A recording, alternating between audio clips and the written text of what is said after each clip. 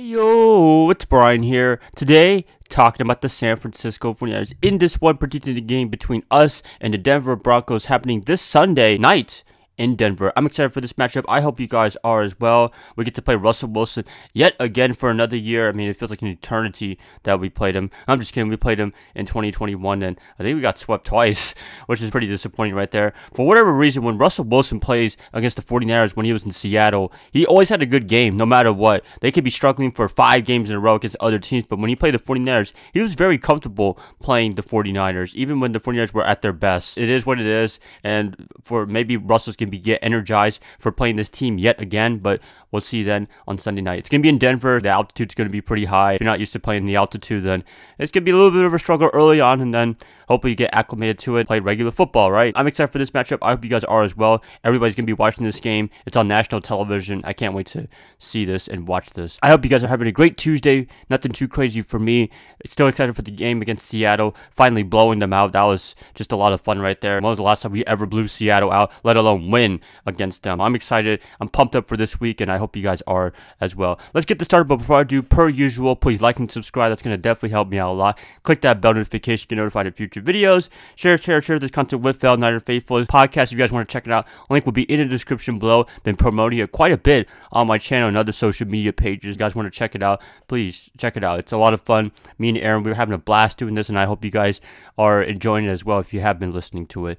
Thank you guys so much. Let's get this started. 49ers versus Denver Broncos. Who is going to win this game? Prediction time. Okay, so prediction, prediction, prediction. Who am I picking to win this one? Before I do, per usual, let's do a tail the tape on each team and what they did last Sunday in their respective performances. The 49ers, they're coming off a win against the Seattle Seahawks, 27 to 7.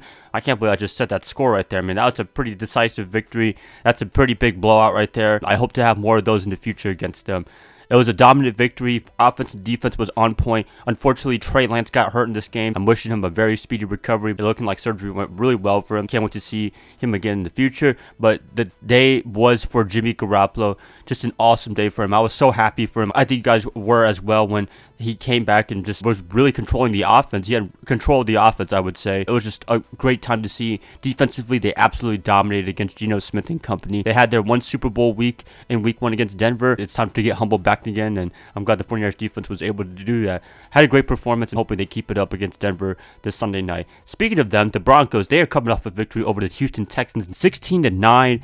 Not the greatest victory in the world for the Broncos, but at the same time, hey, a win is a win. I know we talk about teams struggling to barely get wins, but hey, you get a win. That's all that matters, right? Seattle used to be a huge offender of that. Every time we would play against Seattle, they would end up blowing us out and having an awesome performance. This was still a great win for the Broncos, even though it was against the Texans. Nothing too special right there. They should take it as a win. They've been struggling a lot quite a bit for the past two games. Maybe they're just getting acclimated to each other in Denver, both Nathaniel Hackett and Russell Wilson, everybody else getting the chemistry going for the first two weeks. But we'll see if they can keep it up, do really well against the 49ers daunting defense. It's going to be a hard, tough task for them because the Niners defense, it's really good.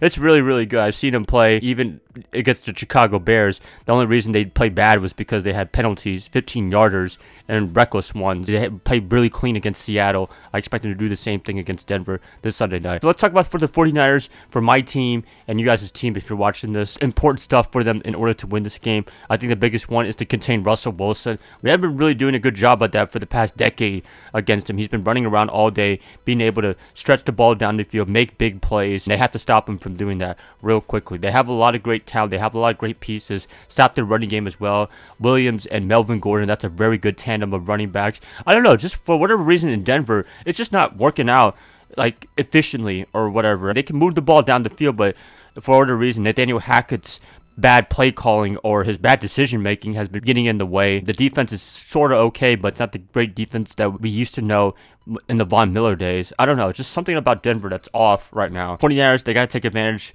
of having a great offense. Offensive line has been improving big time.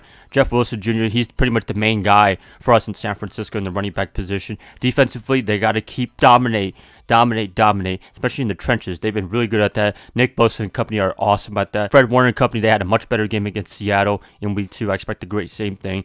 Secondary, I'm actually feeling not too bad about them. I mean, I think Mooney Ward, Charvarius Ward from Kansas City, he's been a big difference maker for us in that defensive backfield. I think there's quote unquote swag to that backfield, a lot of confidence in the past few weeks now. He's been a big difference maker. I'm glad John Lynch and company made that big move. It wasn't the prettiest hiring. It wasn't like Stephon Gilmore or anything like that, but he played a big system role. It's fitting really well. I'm glad it's working out so far. Talanoa Hufanga, he has been the MVP of the defense, I would say, in the backfield. He is just making plays left and right from the backfield to the line of scrimmage. I'm just so happy for him. I knew he was going to be pretty decent coming out of USC. Now he is just doing awesome right now for the 49ers in his second year. I expect even more great things from him in the near future. It's just a cool thing to see somebody that was more of a special teams player making plays at special teams, now making plays as a starting role for the 49ers defensive backfield. That's awesome right there. I'm glad I'm glad he's doing really well. Other things to look forward to. Nothing much, pretty much said everything that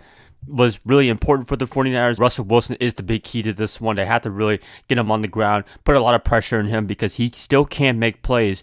Is he still the great player that he was in Seattle? I don't think so, but he's still a great player and he's a big threat. The 49ers, we know of all teams on how he is against us. Could be a different week where he has just an awesome game, comes back from his terrible performances for the first two weeks against Seattle and Houston, respectively. If I had to pick a team to win this one, I'm going to be picking the Denver Broncos, Russell Wilson and company to beat us yet again. No, I'm just kidding. I'm picking the 49ers again to win this one. I'm one for one in victories of prediction time. I got them winning this one. I think they're going to play really good football. Jimmy Garoppolo, just don't turn the ball over as much, then great things can happen. Defensively, just pound their offensive line. Defensive backfield, just keep improving, then I think this could be a great win for the 49ers against this Denver Broncos team that's trying to find their identity. We'll see then. Hopefully, the 49ers can eke out this one and win two in a row. If I had to pick a final score for this one, I'm picking the 49ers to win this one about 24 Denver 17 they could be kind of a decent game, close game, but I think the 49ers, they are a better team on paper right now coming into this game, but you never know. Anything can happen on the field any given Sunday. I think the 49ers can pull off this win and go two in a row. That's it, guys. Please let me know what you guys think about this game against the Denver Broncos. Please let me know in the comments below on who you guys got winning this game. Bronco fans, if you're watching this, I'd like to hear what you guys have to say as well. If you guys like this, please like and subscribe. That's going to help you out a lot. I hope to catch you guys up this week when I talk more about this game and other things about the 49ers. Stay tuned to that. Bye, guys. Love y'all. I hope you have a great rest of your night. Go Niners all day.